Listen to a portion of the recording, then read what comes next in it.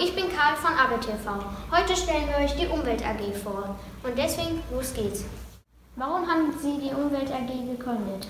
Also ich habe die Umwelt AG auf Wunsch einiger Schülerinnen und Schüler ähm, gegründet, die sich gefragt haben, warum bietet das Ernst-Abbe-Gymnasium denn noch keine AG über das Thema Umwelt an?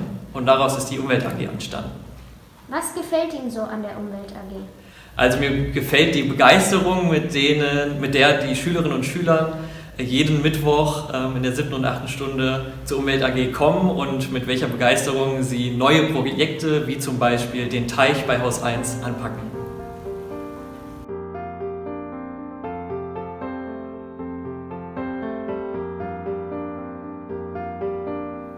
Was macht ihr hier in der Umwelt AG?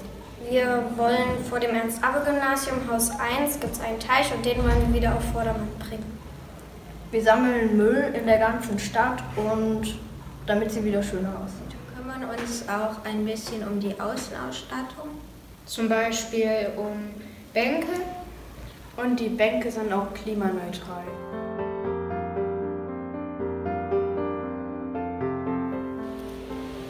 Warum seid ihr der Umwelt AG beigetreten? Ich bin der Umwelt AG beigetreten, damit sich die Umwelt wieder verbessert.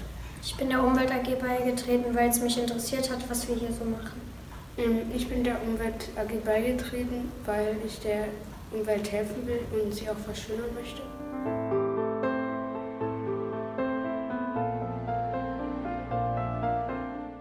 Warum seid ihr der Umwelt AG beigetreten? Ich bin der Umwelt AG beigetreten, weil ich mich sehr für die um Umwelt interessiere und ja.